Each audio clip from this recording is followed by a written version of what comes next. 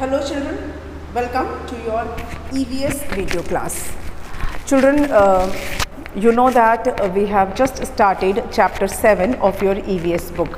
आपकी EVS book का हमने चैप्टर सेवन जस्ट स्टार्ट किया है uh, पिछले वीडियो में मैंने आपको उसका इंट्रोडक्शन दिया था उससे पहले हम चैप्टर सिक्स कंप्लीट कर चुके हैं चैप्टर सिक्स की सारी एक्सरसाइज हमने पूरी कर ली है और I hope you have the work also uh, children uh, do complete your work in time. Do not uh, keep your work pending आप कल के लिए मत छोड़िए कि कल कर लेंगे परसों कर लेंगे। ऐसे आपका वर्क बहुत पाइल अप हो जाएगा ठीक है? तो uh, सारा काम अपना टाइम पे आप करते रहिए। ये जो चैप्टर है प्लेसेस ऑफ़ वर्शिप जैसा मैंने आपको इंट्रोडक्शन में बताया था कि ये चैप्टर है related to the buildings the structures the places where we go for devotion where we go for doing or prayer जहाँ हम प्रार्थना करने जाते हैं, जहाँ हम अपना डिवोशन के लिए जाते हैं to show or act of devotion अपनी भक्ति दिखाने के लिए जाते हैं, उससे रिलेटेड है आपका ये टॉपिक इसमें हम, मैंने जैसा आपको बताया था कि हमारा जो देश है, वो एक डेमोक्रेटिक कंट्री है, मैंने एक वर्ड यूज़ किया था डेमोक्रेटिक जहाँ पर अभी किंग क्वीन ये सब नहीं होते हैं जो भी हमारे रूलर्स हैं they are elected by us जिनको हमने इलेक्ट करके हम लाते हैं इलेक्शन के द्वारा हम उनको लाते हैं वोट करके लाते हैं। और इसीलिए यहाँ पर जितने भी जो लोग हैं, हमको इतनी फ्रीडम है कि हम किसी भी रिलीजन को फॉलो कर सकते हैं, किसी भी धर्म को हम फॉलो कर सकते हैं। कोई रिस्ट्रिक्शन नहीं है। जिसको जो धर्म अपनाना है, जिस धर्म में बिलीव करना है, जिस धर्म को फॉलो करना है, वो हमें परमिशन है। हमारा कंट्री एक सेक्युलर कंट्री भी है। सेक्युलर का मतलब होता है एक ऐसा देश जहाँ पे सभी रिलीजन को इक्वल रिस्पेक्ट दिया जाता है। सभी रिलीजन को के को इक्वालिटी है मतलब किसी भी धर्म के साथ भेदभाव नहीं किया जाता कि वो धर्म सुपीरियर है और ये धर्म इन्फीरियर है, ऐसा नहीं है। सभी धर्म के साथ सभी धर्म समान है, सभी धर्म इक्वल हैं, सभी धर्म को इक्वल रिस्पेक्ट दिया जाता है। इट्स अ सेक्युलर कंट्री तो हमारा कंट्री वर्ल्ड का एक बिगेस्ट डेमोक्रेटिक कंट्री है और एक सेक्युलर कंट्री है, जहाँ everybody is free to follow any religion and all religions are equal सभी धर्म हमारे लिए समान हैं। और हमारा एक देश एक ऐसा देश है जहाँ पर वर्ल्ड के ऑलमोस्ट सारे रिलीजन्स को फॉलो करने वाले लोग पाए जाते हैं। ऐसा बहुत कम ही कोई देश होगा जहाँ पर इतने सारे रिलीजन्स को फॉलो करने वाले लोग रहते हैं। हमारे इंडिया में आपको हिंदूज़ भी मिल जाएँगे मुस्लिम्स मिल जाएँगे सिख हैं क्रिश्चियंस हैं पारसीज़ हैं। जैन्स हैं बुद्धिस्ट हैं, बहुत मतलब जितने भी फ़ेमस जो मेजर रिलीजन्स हैं हमारे कंट्री वर्ल्ड के major religions not only country world के जो मेजर रिलीजन्स हैं, उनको फॉलो करने वाले लोग हमारे कंट्री में मिलेंगे। ऑल ऑल मेजर रिलीजन हमारे देश में मिलता है। हमने स्टार्ट किया था बात करना हिंदुज़म को लेकर सबसे पहले हमने हिंदुज़म की बात की थी बिकॉज़ ये वर्ल्ड का आ, सबसे एंशंट रिलीजन माना जाता है। Hinduism is the world's most ancient religion सबसे पुरातन सबसे पुराना अगर कोई रिलीजन है तो वो है वो है हिंदुज़म सबसे एंशंट माना गया है इसको। कोई भी धर्म इतना पुराना नहीं है। जो बुद्धिज़्म है जो जैनिज़म्स हैं जो जैन और बौद्ध धर्म है वो भी हिंदू धर्म में से ही आ, से ही व्हाट डू कॉल का ही पार्ट है। It has bisected from Hinduism from Hinduism Jain धर्म भी हिंदू धर्म से ही निकला है और बुद्धिज़्म भी हिंदू धर्म से ही निकला है। तो ओल्डेस्ट रिलीजन वर्ल्ड का है वो हिंदुज़म है। हिंदुज़म इज़ द याद रखना है आपको कि Hinduism is the ancient religion of the world yes पूरी दुनिया का सबसे पुराना धर्म है। uh, इसके बारे में मैंने आपको बताया था कि कुछ पॉइंट्स मैं आपके लिए लिख देती हूँ ताकि आपको याद रहेगा। हाँ एक और चीज़ बताऊँगी, मुझसे सम पीपल वर आस्किंग कि जो आप पॉइंट्स बोर्ड पर लिखते हैं, क्या वो भी कॉपी में लिखना है? जी नहीं, बिल्कुल नहीं लिखना है। वो आपको समझाने के लिए लिखा जाता है पॉइंट्स आपको अपनी ईवीएस की नोटबुक में सिर्फ़ एक्सरसाइज वाला जो मैं करवाती हूँ, वो लिखना है। Only exercise you have to write it in your E V S copy and not the points that I write वो पॉइंट्स मैं आपको समझाने के लिए लिखती हूँ। आप उसका स्क्रीन शॉट लेके रख सकते हैं समझने के लिए। उसको आपको कॉपी में नहीं लिखना है, ठीक है? तो अभी जो मैं पॉइंट्स लिखने जा रही हूँ, वो इसलिए मैंने बता दिया आपको पहले ही कि उसको कॉपी नहीं करना है। You have to just read you have to just understand those points okay so the people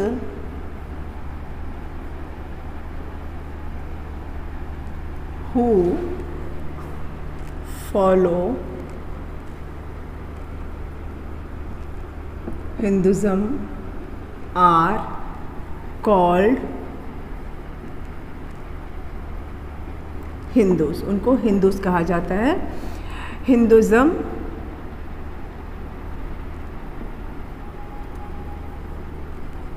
is the oldest religion of the world. In fact Hinduism is not a religion ऐसा बोलते हैं कि Hinduism religion नहीं है Sanatan is the religion Hinduism is a way of life कैसे किसी व्यक्ति को किसी इंसान को किस तरह से लाइफ जीनी चाहिए वो इसमें सिखाया जाता है हिंदुज़म में बताया जाता है how to lead a life how to lead a पाओ एक पायस लाइफ एक पवित्र जीवन कैसे जीना चाहिए हाउ या एक एक प्रॉपर लाइफ कैसे जीनी चाहिए वो हिंदुज़म में बताया जाता है religion is Sanatan but since it is written we will uh, call it Hinduism only. In the book it is written Hinduism. अच्छा हिंदुज़म में हमने जाना कि their place of worship place of worship क्या है? टेंपल हिंदुज़म का, Hindus का place of worship है टेंपल हिंदू लोग टेंपल में जाते हैं प्रेयर करने के लिए. Not only uh, for uh, for uh, performing prayer the all जो religious जो rituals होते हैं जो activities होती हैं उसके लिए भी टेम्पल्स में जाते हैं, घर पे भी कराते हैं ऑफकोर्स लेकिन basically they prefer going to temples for their religious rituals जैसे कि यज्ञ कराना है, कोई अनुष्ठान कराना है, कोई अभिषेक कराना है तो उसके लिए मंदिर में जाते हैं। कोई रिलीजियस सेरेमनी है, उसके लिए भी मंदिर में जाते हैं। कुछ लोग जो मुंडन सेरेमनी होते हैं, उसके लिए भी मंदिर में ही जाके करवाते हैं। मुंडन मतलब जो हेयर शेव कराते हैं ना बेबी का जो छोटा बच्चा होता है, फिर उसके जो सिर के जो बाल होते हैं, जो फ़र्स्ट टाइम शेव कराते हैं दैट इज़ कॉल्ड मुंडन। तो मुंडन के लिए भी लोग टेंपल में जाते हैं। उसके अलावा कभी शादी भी होती है, कुछ लोगों की शादी भी टेंपल में होती है। उसके अलावा बाकी जो रिलीजियस कुछ एक्टिविटीज़ होती हैं, जो पूजा अनुष्ठान होते हैं, वो भी उसके लिए भी मंदिर में जाते हैं। Apart from their daily prayer कुछ लोग डेली टेंपल में जाते हैं फॉर फॉर प्रेइंग तो temple is their place of worship now will talk about temples temple जैसा मैंने आपको बताया था कि प्लेस ऑफ़ वर्शिप जो होते हैं uh, उनका वो जो बिल्डिंग होती है वो नॉर्मल हमारे घर से बिल्कुल अलग होती है। जिन घरों में हम रहते हैं जिन फ्लैट्स में हम रहते हैं या बंगलोज़ में रहते हैं या एक डुप्लेक्स में रहते हैं या सिंपल हाउस में रहते हैं उससे बिल्कुल अलग होता है प्लेस ऑफ़ वर्शिप उसका शेप उसका डिज़ाइन अलग होता है। फॉर एग्ज़ाम्पल जो टेम्पल्स होते हैं उनमें शिखर होता है।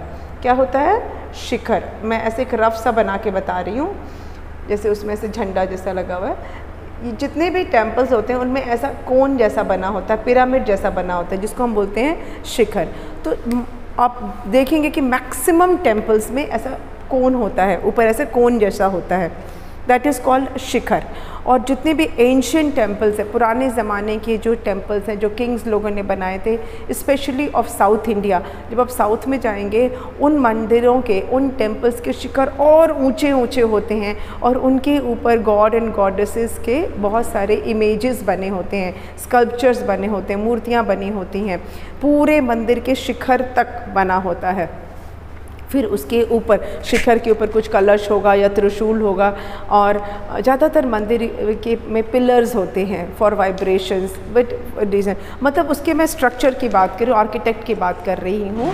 मैक्सिमम टेम्पल्स में मैक्सिमम टेम्पल्स में you will find a hall एक हॉल होता है गोपुरम होता है एंट्रेंस होती है एक गर्भगृह होता है, जहाँ पर आइडल रखा जाता है या जिसकी भी, जिसका भी, जिस भी गॉड या गॉडेस का वो टेंपल है, उनका आइडल रखा होता है या उनका सिंबल रखा होता है। सिंबल इसलिए बोल रही हूँ कि ज़रूरी नहीं है कि हर जगह गॉड या गॉडेस की इमेज ही हो। फॉर एग्ज़ाम्पल वैष्णो माता श्राइन तो वहाँ पे ज़रूरी नहीं है कि माता का, देवी या गॉडेस का आइडल रखा है। वहाँ पे तो थ्री स्टोन्स के फॉर्म में है। जिसे हिंदी में हम पिंडी बोलते हैं। वैसे ही शिव गॉड शिव है। ज़रूरी नहीं है कि उनका आइडल हो, उनकी मूर्ति हो। उनका जो उनका एक बोलते हैं ना कि शेपलेस जो फॉर्म में निराकार स्वरूप, जिसे शिवलिंग बोलते हैं, शिवलिंग के फॉर्म में हो सकते हैं। तो अलग अलग गॉड एंड गॉडेसेस से रिलेटेड अलग अलग टेम्पल्स होते हैं। मतलब पर्टिकुलर गॉड के अलग अलग टेंपल हो सकते हैं, या एक ही टेंपल में अलग अलग गॉड एंड गॉडेसेस के एरियाज़ हो सकते हैं। कोई कोई टेंपल ऐसा होता है जिसमें सभी भगवान के, सभी गॉड या गॉडेसेस के इमेजेस होते हैं अलग अलग जगह पे। कोई कोई टेंपल ऐसा होता है उसमें पर्टिकुलर सिर्फ़ एक पर्टिकुलर गॉड या गॉडेस का इमेज होता है। तो डिपेंड करता है और फिर हम उस टेंपल को उसी नाम से जानते हैं। फॉर एग्ज़ाम्पल विश्वनाथ टेंपल जो आपके वाराणसी का बहुत ही फ़ेमस टेंपल है। तो विश्वनाथ टेंपल है तो द मेन जो वहाँ पे जो डेटी हैं, जो मेन गॉड हैं, वो शिव है। तो शिव के नाम से जाना जाता है। अगर हम भैरवनाथ टेंपल बोलते हैं तो वहाँ पे जो मेन गॉड है, जो मेन डेटी है, जो मेन आइडल है, वो श्री भैरवनाथ जी का है। तो ऐसे ही अलग अलग जो मंदिरों का नाम उनके वहाँ के गॉड या गॉडेसेस के अकॉर्डिंग ही रखा गया है। अगर जगन्नाथ टेंपल बोल रहे हैं तो वहाँ पर विष्णु जी, जो भगवान जगन्नाथ हैं, उनका मेन आइडल है, उनके साथ उनकी ब्रदर और सिस्टर का भी आइडल है। लेकिन नाम जगन्नाथ जी के नाम से है। तो डिपेंड करता है कि वो पर्टिकुलर टेंपल किस गॉड या गॉडेस का है, और उसी के अकॉर्डिंग उस टेंपल का नाम रखा जाता है। ठीक है, ये हिंदुज़म के बारे में हम बात कर रहे हैं। फिर मैंने आपको नेचर वाली बात तो मैं आपको पिछले वीडियो में एक्सप्लेन कर चुकी हूँ कि हिंदुज़म में आ, नेचर आ, से रिलेटेड थिंग्स की भी पूजा होती है जैसे रिवर की माउंटेन की आ, ट्री की इन सब की भी इन सबको भी प्लेस या थिंग ऑफ़ वर्शिप माना जाता है। और इसके मैंने बहुत सारे आपको एग्जाम्पल्स भी दिए थे अपने पिछले वीडियो में अगर आपने देखा होगा तो और याद होगा तो सिर्फ़ देखने से नहीं होता आपको अगर याद होगा तो। तो जैसा मैंने बताया कि प्लेस ऑफ़ वर्शिप का जो स्ट्रक्चर है, वो भी बहुत इंपॉर्टेंट होता है। और एक कॉमन जो चीज़ होती है, वो होती है शिखर। मैक्सिमम टेम्पल्स में आपको ये चीज़ देखने को मिलेगा। और आइडल हो भी सकता है और नहीं भी हो सकता आइडल मूर्ति ज़रूरी नहीं कि मूर्ति हो, मूर्ति की जगह पे कोई दूसरी चीज़ भी हो सकती है। ठीक है? तो ये हम सिर्फ़ टेंपल की बात कर रहे हैं। उसके अलावा बात करेंगे हम हिंदुज़म में जब बात कर रहे हैं तो सभी रिलीजन पे जब आएँगे तो ये पॉइंट्स हम डिस्कस करेंगे ही। पिलग्रिमेज साइट जिसको हम बोलते हैं तीर्थ स्थान।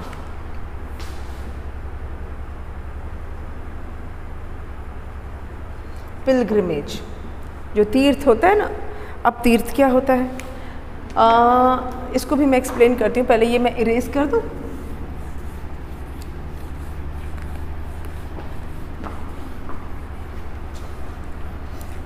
सभी रिलीजन्स में, सभी रिलीजन्स में कुछ कुछ प्लेसेस ऐसे होते हैं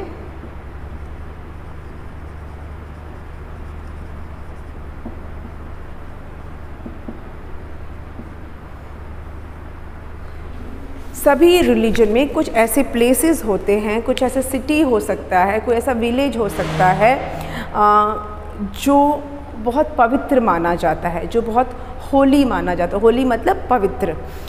तो बहुत सेक्रेड माना जाता है। तो वहाँ पर लोग सोचते हैं, उस उस प्लेस से रिलेटेड कोई स्टोरी हो सकती है, उस प्लेस से रिलेटेड कोई इंसिडेंट हो सकता है, उस प्लेस से रिलेटेड कुछ भी ऐसा पॉइंट हो सकता है, जिस कारण से वो प्लेस वो सिटी वो विलेज जो है वो होली माना जाता है या सेक्रेड माना जाता है। It may be it, it may have some story related to some ancient uh, thing. It may have something related to religion कुछ ऐसा वहाँ पे वहाँ पे कोई ऐसा इंसिडेंट हुआ होगा। कुछ ऐसा चीज़ उस प्लेस से जुड़ा हुआ होता है जिसकी वजह से वो प्लेस को हम बहुत पवित्र मानने लगते हैं। फिर ये आ, क्या होता है कि हर रिलीजन में ये चीज़ होती है तो वहाँ पर उस रिलीजन को फॉलो करने वाले लोग, उस पर्टिकुलर रिलीजन को फॉलो करने वाले लोग उस प्लेस पर विज़िट करते हैं, उस प्लेस पे जाते हैं। वहाँ पर once in a life time जाना चाहते हैं। ज़िंदगी में एक बार तो जाना ही चाहते हैं once in a life time बार बार जाने को मिले तो बहुत अच्छी बात है, लेकिन ज़िंदगी में, अपनी लाइफ में वो एक बार इन जगहों पे जाना चाहते हैं टू शो देयर डिवोशन और उन, ऐसा दे फील कि वहाँ जाने से दे विल फील बेटर उनकी प्रॉब्लम सॉल्व हो जाएगी, या जस्ट फॉर डिवोशन ऐसे हर रिलीजन में कुछ प्लेसेस होते हैं.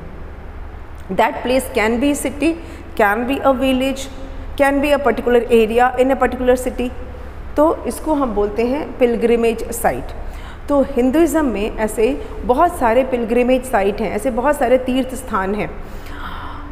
पर मेजर जो है वो फोर हैं, चार धाम जिसको बोलते हैं four Dham. Four major pilgrimage sites हैं। बद्रीनाथ, केदारनाथ, जगन्नाथ और गंगा सागर ये फोर मेजर पिलग्रिमेज साइट्स हैं। बद्रीनाथ धाम, केदारनाथ धाम और बद्रीनाथ धाम, केदारनाथ धाम गंगा सागर एंड जगन्नाथपुरी जी।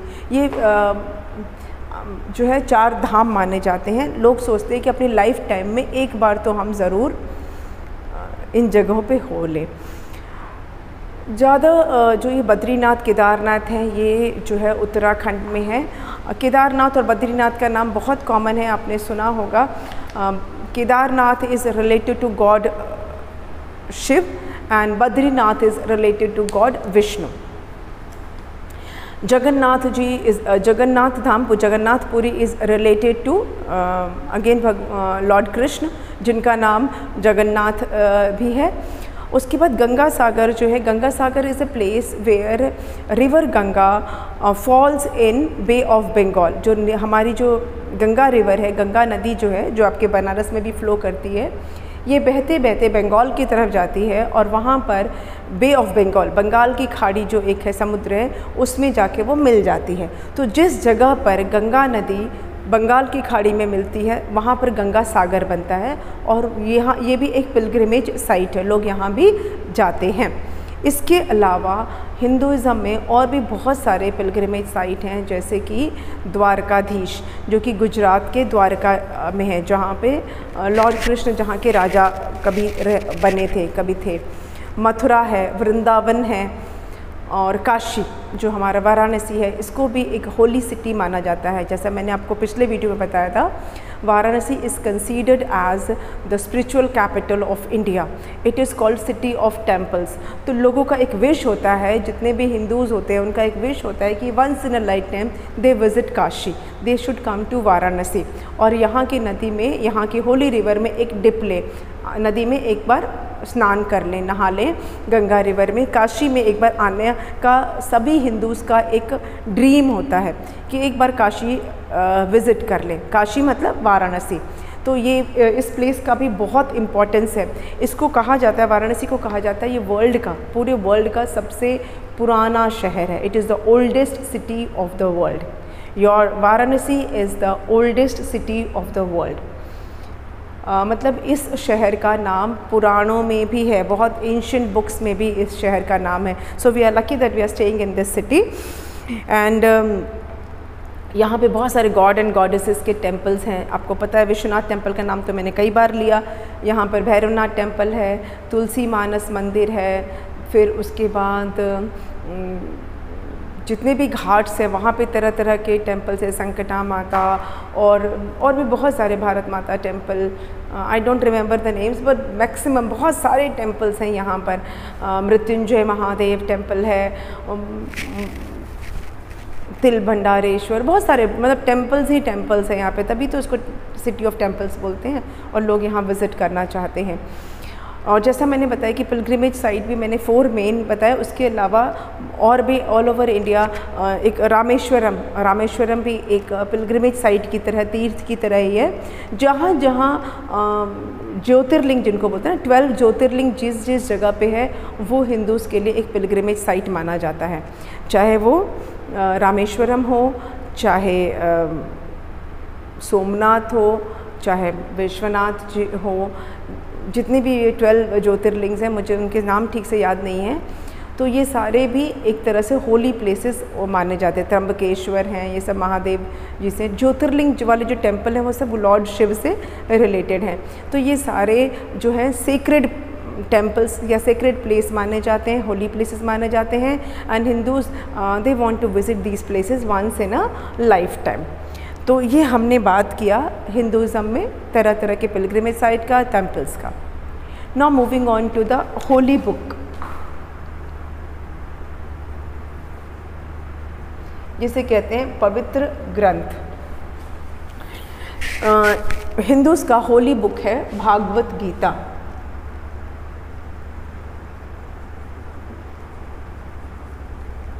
आपने नाम सुना होगा भागवत गीता। ये हिंदूज का एक होली बुक है, एक पवित्र ग्रंथ है। ऐसे तो रामायण और महाभारत भी है।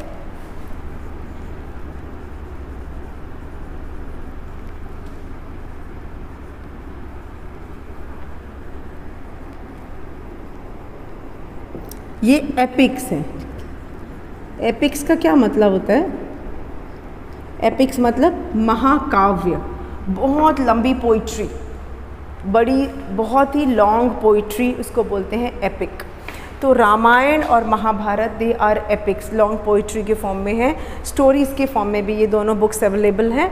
और वैसे मेन जो हमारा सीक्रेट बुक है होली बुक है, वो है भागवत गीता. भागवत गीता क्या है? भागवत गीता है इसमें जब महाभारत का लड़ाई हुआ था वॉर हुआ था, महाभारत का जब वॉर हुआ था उस वॉर के के स्टार्टिंग में, उस वॉर के स्टार्ट होने के जिस दिन स्टार्ट हुआ था, उस दिन जो अर्जुन थे one of the brothers of Pandavas Pandav जो ब्रदर्स थे, उनमें से एक थे Arjun. He became confuse and he did not want to pursue war वो युद्ध नहीं लड़ना चाहते थे।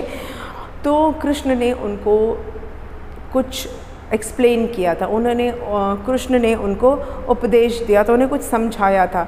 तो उसमें टीचिंग्स हैं। लॉर्ड कृष्ण की टीचिंग्स हैं फॉर अर्जुन ऐसा बोला जाता है। लेकिन वो टीचिंग सिर्फ़ अर्जुन के लिए नहीं है it is for everybody in the world दुनिया में जितने भी लोग हैं, उन सब के लिए वो टीचिंग है। वो किसी रिलीजन से रिलेटेड नहीं है। जो ऐसा हम बोलते हैं कि भागवत गीता हिंदूज़ का सेक्रेट बुक है होली बुक है, लेकिन उसके अंदर जो टीचिंग है, वो किसी पर्टिकुलर रिलीजन के लिए नहीं है। एवरीबडी और anybody can follow those things in his or her life उसमें जो कुछ भी लिखा है, उसे दुनिया का कोई भी पर्सन अपनी लाइफ में फॉलो कर सकता है। वो किसी भी रिलीजन का हो, किसी भी रिलीजन में बिलीव करता हो, पर भागवत गीता की जो टीचिंग्स हैं it is applicable to all सबके लिए है वो।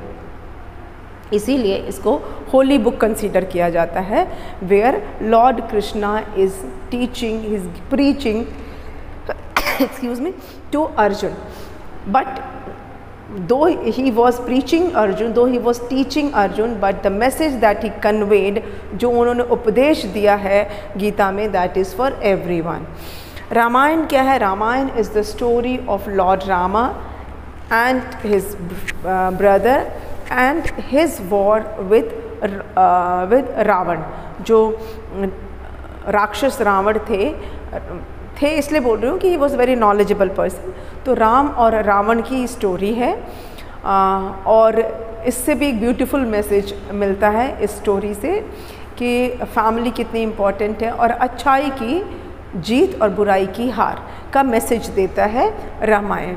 और किस तरह से फैमिली का सपोर्ट इंपॉर्टेंट होता है, वो भी इसके थ्रू हमें पता चलता है।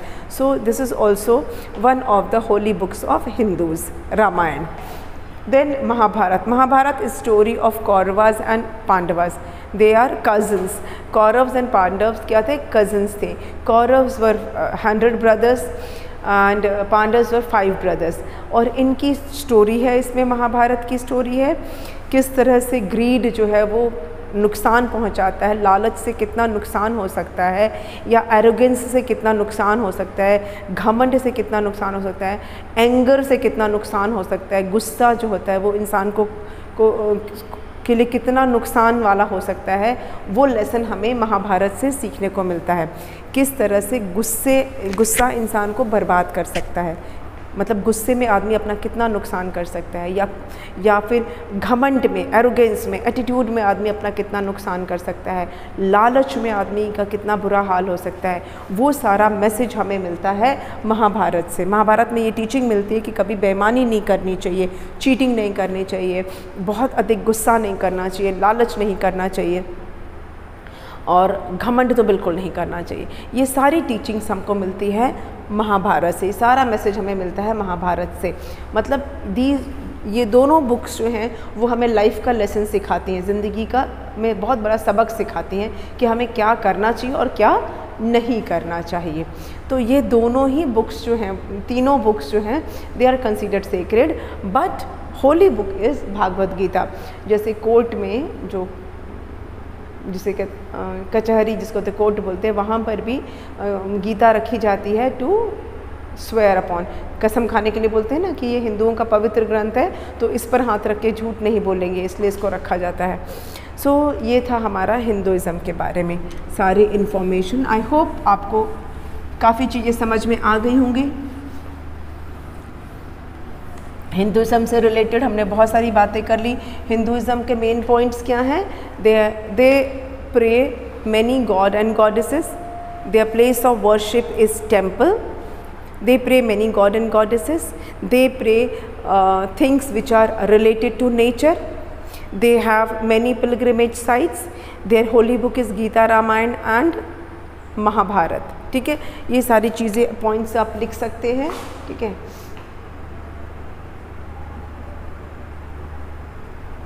Hindus follow Hinduism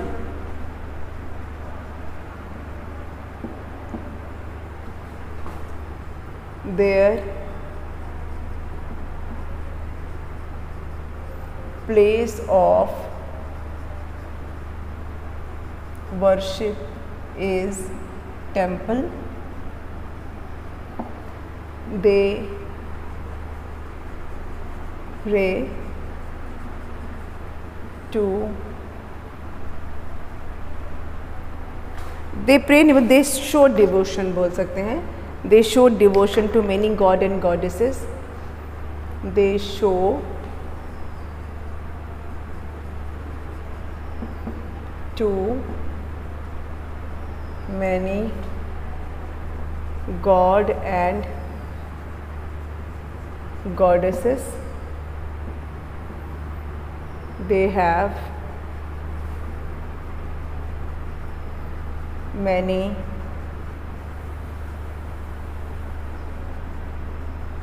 pilgrimage sites.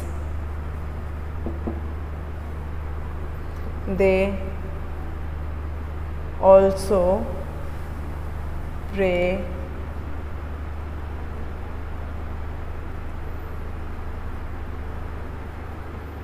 to many things related to nature.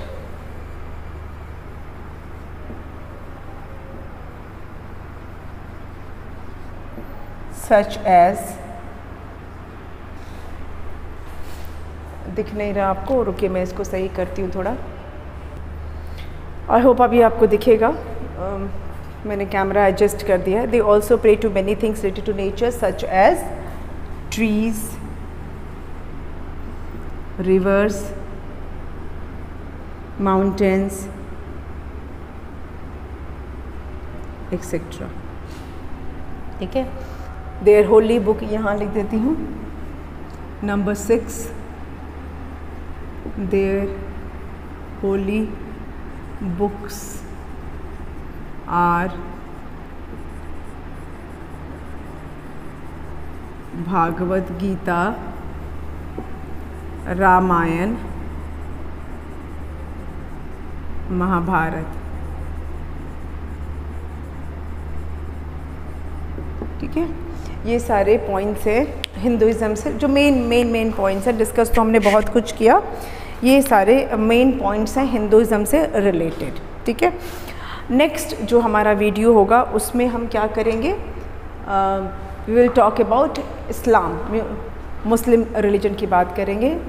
देखिए Hindu follow Hindus follow Hinduism their place of worship is temple they show devotion to many god and goddesses. They have many pilgrimage sites. Sorry. They also pray to many things related to nature such as trees rivers and mountains etc their holy books are bhagavad gita ramayana and mahabharata ठीक है next video में हम इस्लाम की बात करेंगे which is related to Muslims आज की video को यहीं पे बंद करते हैं and we will meet again in the next video thank you